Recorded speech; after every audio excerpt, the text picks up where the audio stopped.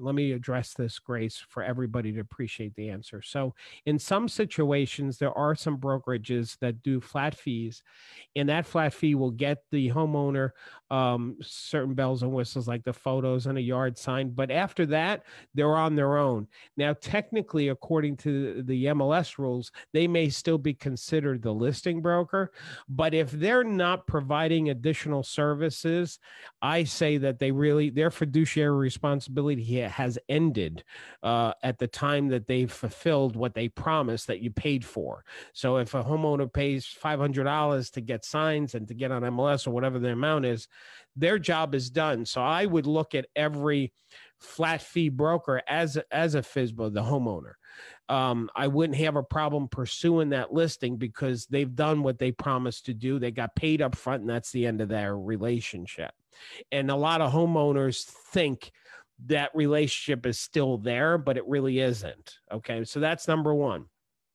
Uh, number two, um, when it comes to explaining when they've had the professional photos and the MLS and all that stuff, my favorite analogy, Grace, to use is the um, the the hammer.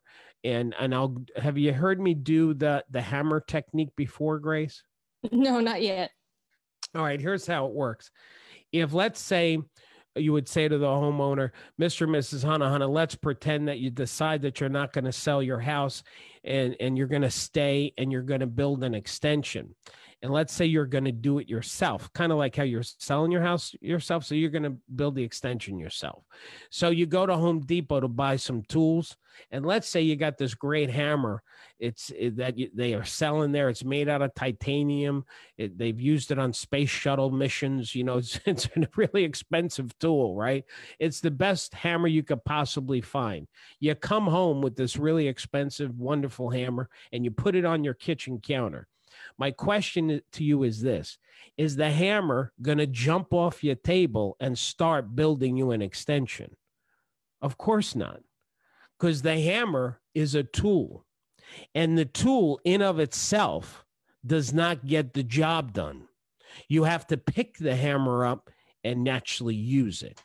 Well, that's exactly what MLS is. It's a tool. The photos, they're tools. But the tools in of themselves do not sell your home. They have to be used a particular way. Now, Mr. and Mrs. Hanana, you could take your hammer and take the other tools. They take the screwdriver and this and the staple gun, all this stuff, and you can give it to, to two different contractors.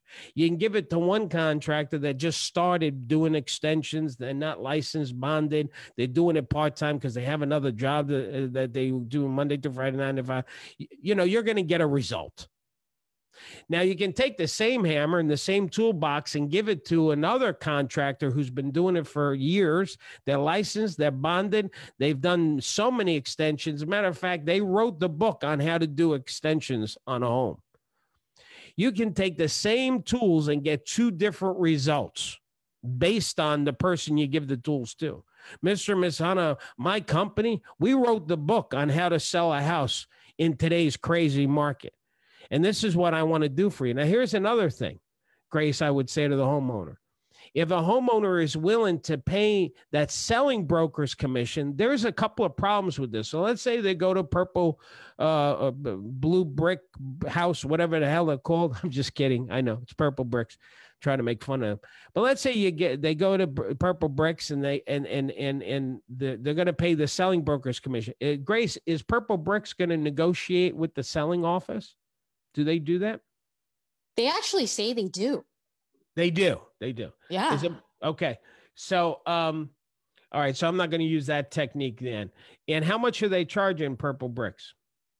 Um, it's like um four five hundred dollars up front, and then when you sell the house, that's when you have to pay the remaining twenty five hundred dollars. And by the way, um, another company bought um, the Purple Bricks name in Canada, so they are technically they are out. By the way, so but um, yeah, so I would use yeah, that. Listen, I, I, am sorry to interrupt you, Grace. I would use that. I would search the news on Purple Bricks, uh, so that way you can actually use that on a listing appointment. Show them, listen, they weren't successful before. Somebody bought them for t- ten cents on the dollar or whatever they paid, and now they're trying to relive it. But I'm going to tell you something.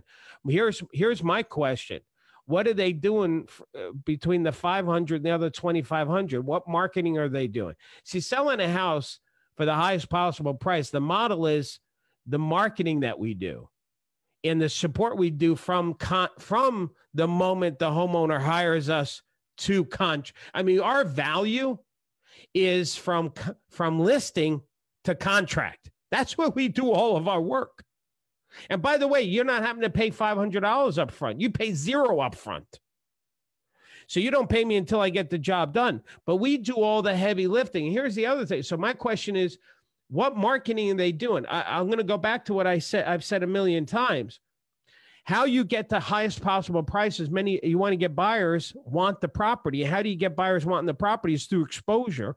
And how do you give something most exposures through the marketing tools? And it's not just the tools, but how you use the tools.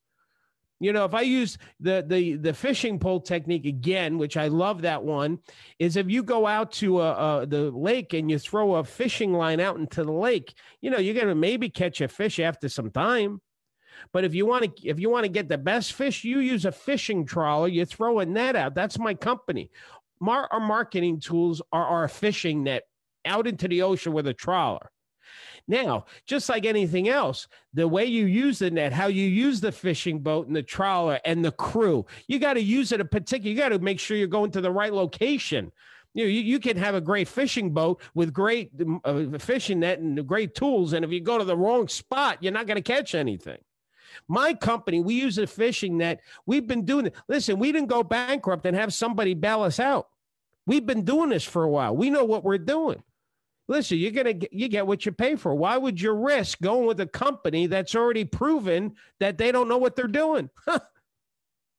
I mean, I wouldn't want to be that experienced. It's the most important asset that you have.